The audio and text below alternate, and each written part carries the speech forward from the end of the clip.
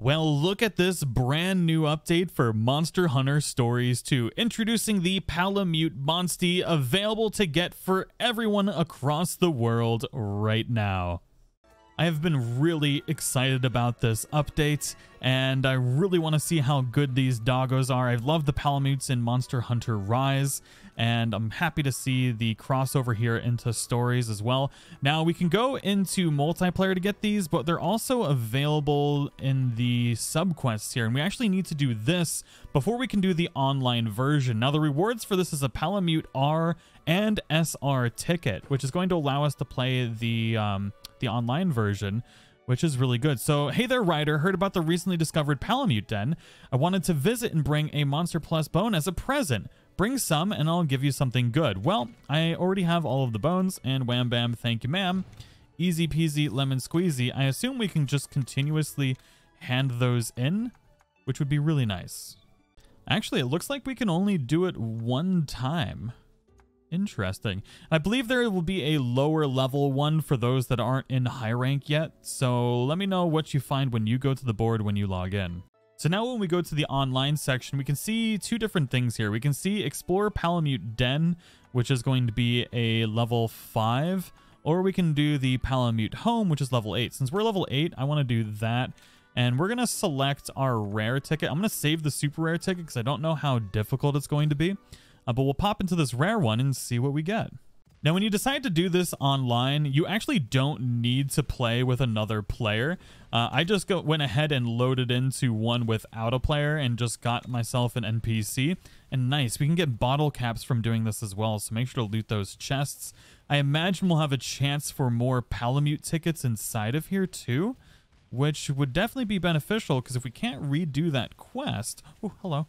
I would not like to fight you. Do we get a Palamute ticket from in here? Got a mounting charm. Like a Palamute ticket, but not. I guess the main thing I'm interested in is the types of skills that they have. Um, especially if they have anything good on them that... Ooh, we got an Expedition ticket R out of that, which is very good. I'll take that. We got an Arzuros over here. And we have to slay an Azure Rathalos here at the end of this one. So we got 15 bottle caps from this so far. I think that's all the chests. Well, let's go take down this Azure Rathalos. Ended up getting another 10 bottle caps on the way to this monster den here. Let's see what kind of eggs we get out of here. Oh, that's gold, and it looks pretty. I wonder, do we get do we get super duper greedy? I think I'm gonna I think I'm gonna take this one for right now. Man, Azure Rathalos is super pretty, and yes, it is using power attacks to start off with, which is really nice. We're also going to be using Fergie, our rather powerful Nergigante, only level 49, but this thing is basically unkillable, which is really nice. I got a, a, a, really nice build going on for this, and I show also how to get it before you get into high rank.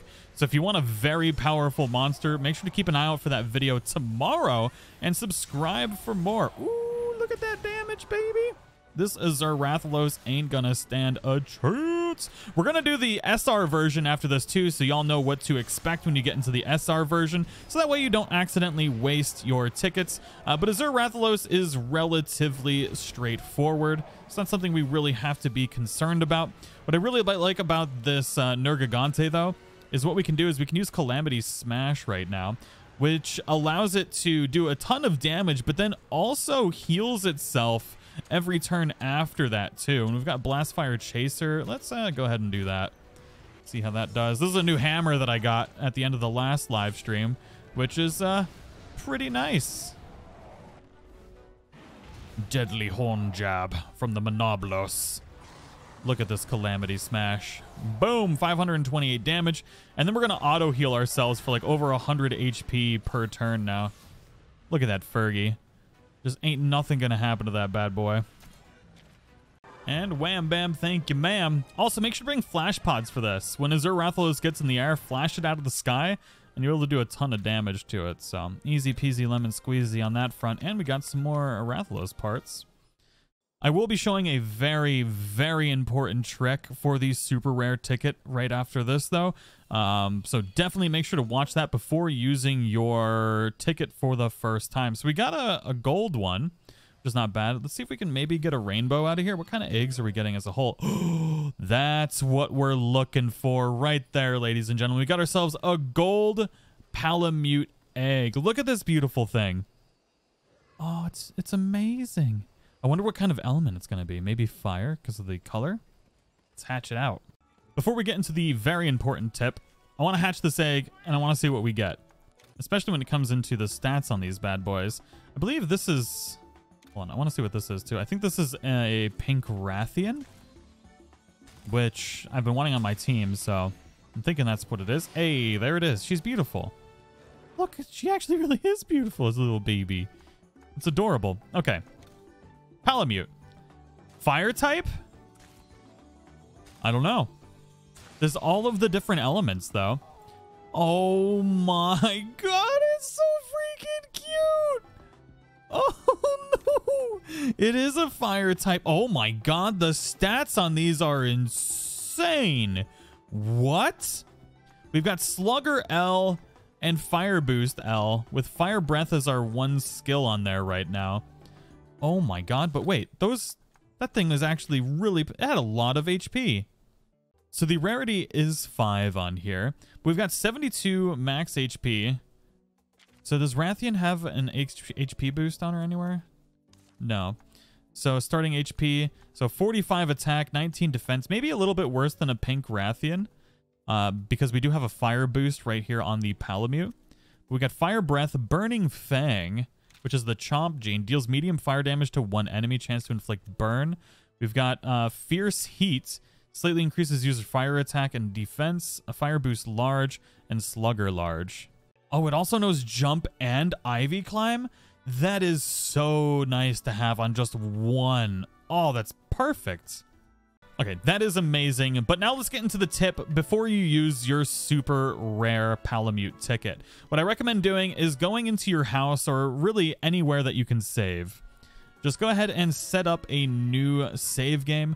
We're going to create one, I guess, right here. So we'll do this. We're over overwrite this save. So that way, if we use our super rare Palamute ticket and we don't get the one that we want, or we're hunting for a rainbow, then we can just reload that save and we'll still have our ticket. This comes in really handy because we don't know exactly what we're going to get from this right now. And I want to make sure that we also have our charm for findings. we can find rare eggs. We have that activated for another 31 minutes.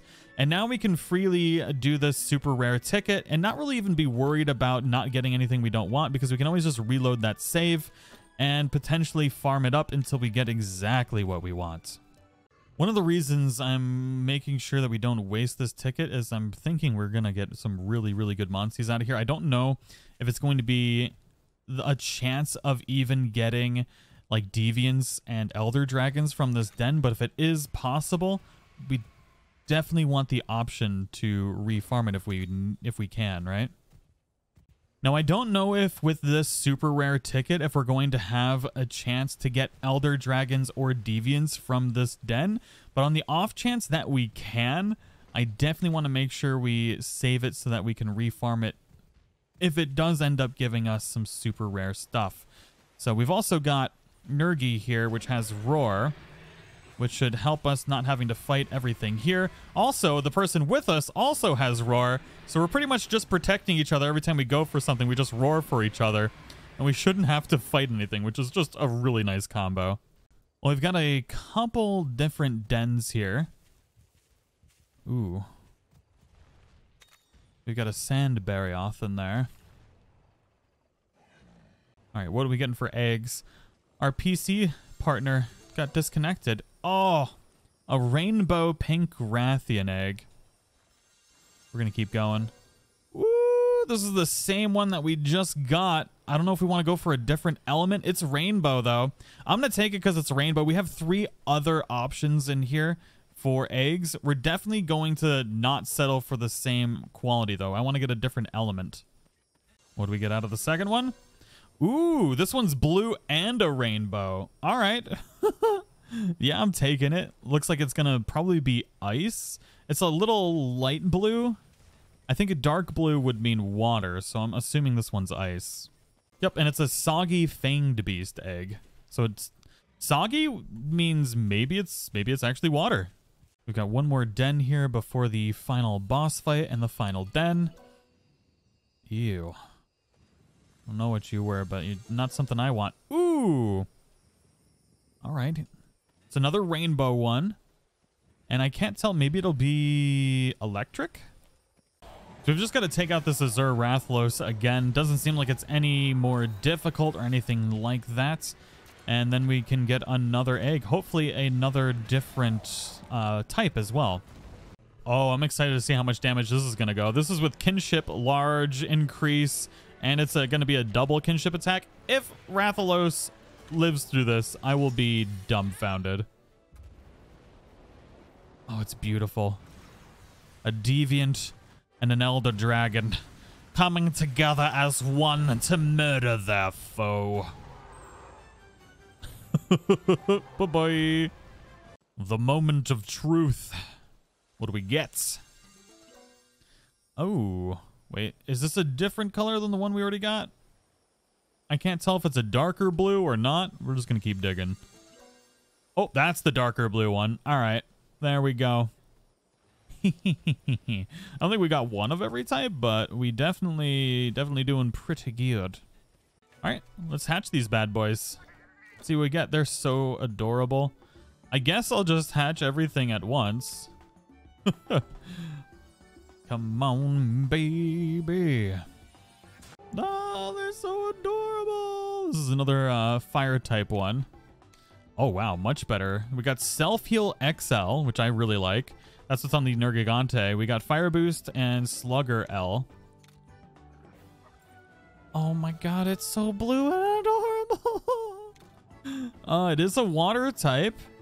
And on here, what do we got? We got Quick, Water Boost Large, ooh, and Dancer XL. Um, so increases speed when at full HP, but it also greatly boosts attack and defense.